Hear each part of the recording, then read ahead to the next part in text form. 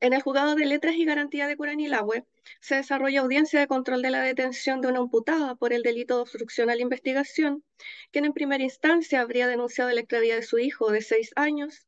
quien posteriormente fue hallado en la localidad de Victoria junto a la expareja del progenitor, quien contaba con el consentimiento de la madre se decretó la ilegalidad de la detención debido a que a juicio del tribunal el Ministerio Público no logró fundar suficientemente la hipótesis de flagrancia del artículo 130 letra A del Código Procesal Penal.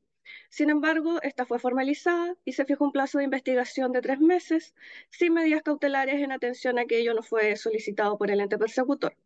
Acto seguido, pensando en el interés superior del niño, el tribunal, en conformidad a lo dispuesto en los artículos 22 y 71 de la ley que crea los tribunales de familia,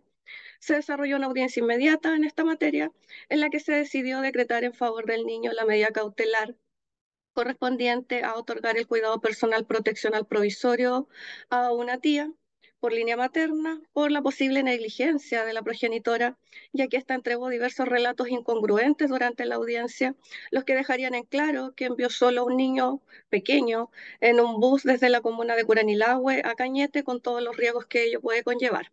Posteriormente, y tras dictar la medida, el tribunal se declaró incompetente y remitió los antecedentes al juzgado de letras y familia de Arauco, ya que tanto la madre como el niño tienen domicilio estable en dicha comuna y además ya existe en tramitación una causa de cumplimiento de medida de protección en dicha sede.